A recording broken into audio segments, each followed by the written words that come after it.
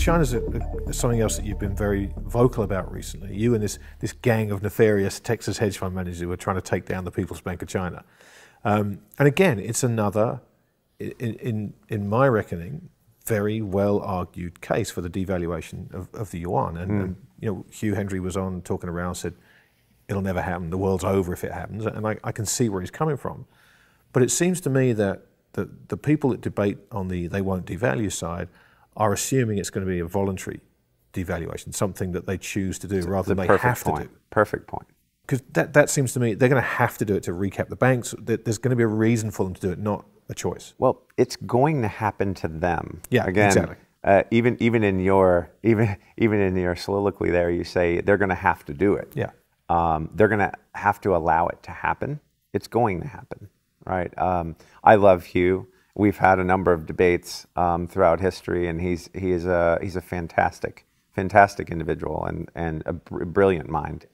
Um, but if if the reason that it's not going to happen is because it can't happen because the rest of the world's going to have so much trouble with it, um, that doesn't give me uh, any uh, that doesn't give me any any solace whatsoever. In fact, you, you look back to the U.S. financial crisis when um, I would go meet with various heads of investment banks or, um, or investors, and I would say, this is what's going to happen, and this is why, and this is how the structures are structured. And you know, someone would look at me and say, well, that means Fannie and Freddie will be out of business. Right. And so therefore the government will never let that happen. I heard that argument in 2006. Yeah. I heard it many times. Can't happen because the consequences would be so dire that something can't happen. And when I look at what's happening now in China, the amplitude of what's, what's happening is two, three, four times what it was in the US. The people running the Chinese regulatory and oversight uh, for their system have only been doing this for less than 20 years.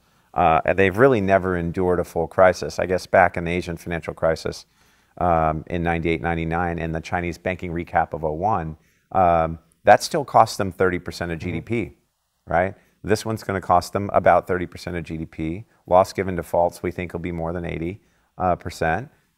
They're going to lose $3 trillion of bank capital. There are so many perfect parallels to it doesn't matter whether it's the US mortgage credit system or whether it's the European banking system or the Chinese banking system. There's a fascinating series of events that are, that are happening that it's clear as day how it's going to gum up and it's beginning to stop. And so, um, you know, one has to develop their own opinion as to how it's going to happen and how that will metastasize or begin to really play things out. And um, we see it starting now. Xi Jinping doesn't make every decision as to which SOE gets paid and which one doesn't. It does, he doesn't make any decision as to which SOE pays its bills and which um, investor is going to be paid 100 cents on the dollar or 80 cents on the dollar or 20 cents on the dollar for a restructured bond.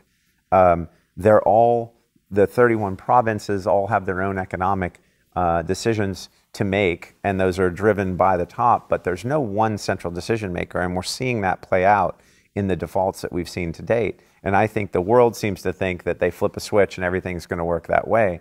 And what's interesting is the politics of the system tells you it doesn't work that way. They're going to expand the PBOC's balance sheet.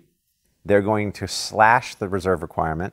They're going to drop the deposit rate to zero. They're going to do everything the US did in our crisis. They're going to, there is a playbook, there's a template for them. Yeah. They have to do what they have to do. Every single thing the Chinese central bank and central planners have to do is currency negative for them.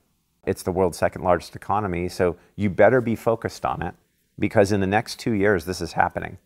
And if you want to pretend that it's not going to happen, you're going to do poorly somewhere in your portfolio in your life. Uh, but if you accept the fact that it's going to happen, you should just be thoughtful about how to structure your, your portfolio around that. Look, the law of unintended consequences is really big right now. There is no world after the tomorrow where China devalues by 20%. There is no world. I start from the presumption that the consensus is wrong. My best advice is that you can't bring your ego into this.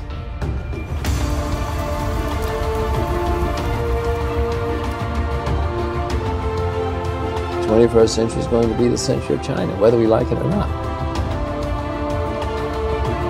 80% of all the crowdfunding platforms in the world are funded by hedge funds.